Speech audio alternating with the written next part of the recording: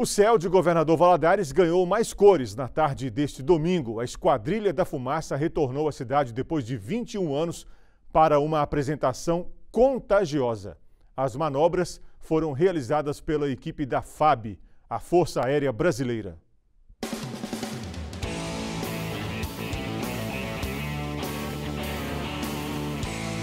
A tarde de céu claro contribuiu ainda mais para a beleza do espetáculo. O azul estonteante que margeava a Ibituruna parecia uma tela, só à espera da pintura perfeita. Com motores ligados e protocolos de segurança conferidos, o espetáculo apareceu.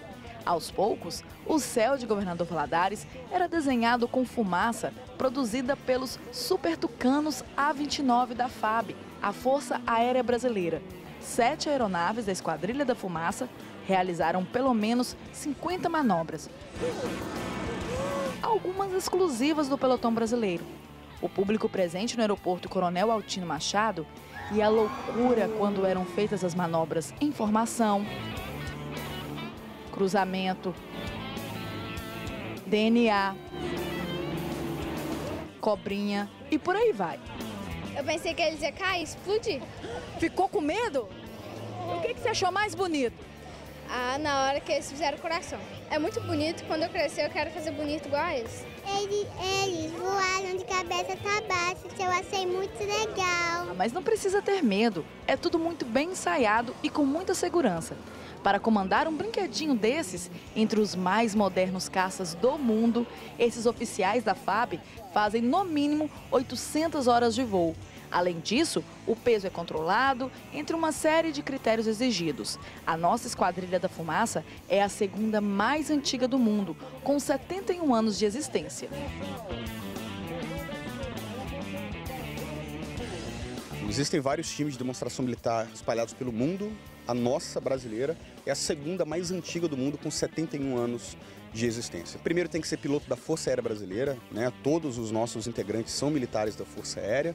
Depois de algum tempo de experiência operacional da Força Aérea, os pilotos podem se voluntariar para concorrer a uma vaga de ser piloto da Esquadrilha da Fumaça. Aí sim passa por um processo seletivo e anualmente a gente ad- admite de um a dois pilotos que vão compondo a equipe é, ao longo da saída de novos integrantes, de forma que a gente tenha sempre o mesmo número de pilotos pertencentes à equipe. Tem que ter muita coragem, mas na verdade não é o principal. O principal é muito treinamento, muita disciplina e muita força de vontade. 22 profissionais, entre pilotos, mecânicos e apoio, integram a equipe de apresentação.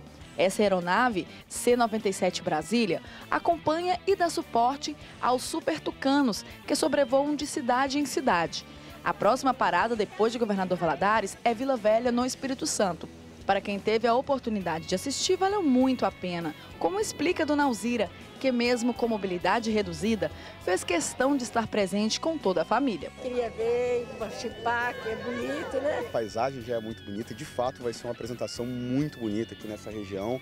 O pessoal aqui nos recebeu muito bem, então a gente está muito animado, muito entusiasmado para essa demonstração. Enquanto os aviões estão no céu fazendo acrobacias, a imaginação, a curiosidade e os sonhos dos pequenos em terra firme ganham asas e voam. Dizer que eles fazem desenho, essas coisas. Eu sei que isso daí é um óleo que tem lá dentro que eles colocam.